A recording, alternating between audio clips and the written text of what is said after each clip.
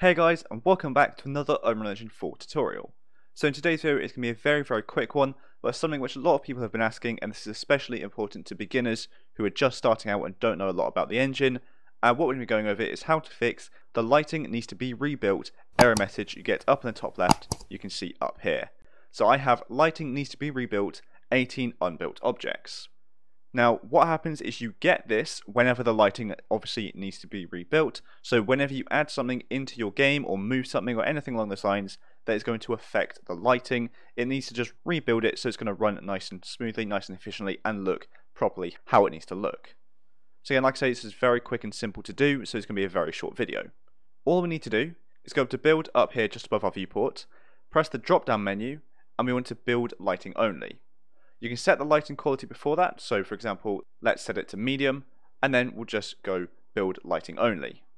Now what this is also going to do is if you see the text of preview anywhere about in your level, this will also remove that because again that just means you're using preview lighting, so you need to build your lighting to change that.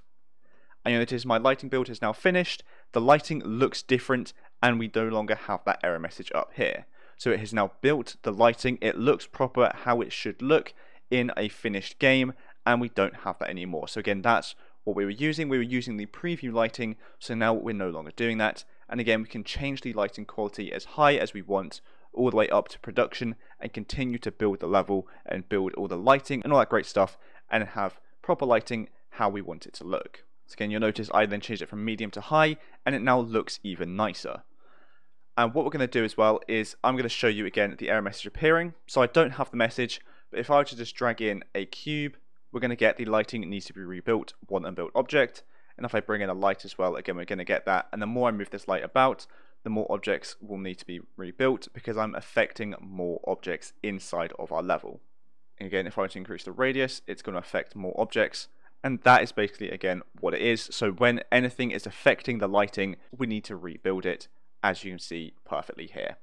So once again, like I said, it's going to be a very, very quick video. That is all we need to do to fix the lighting needs to be rebuilt error message we get up here. It's not really an error, it's just red because you need to do it before releasing your game. Otherwise, it's not going to run properly, it's not going to look good. You need to rebuild the lighting. So I think that'll be it for this video, as we've done everything we to do.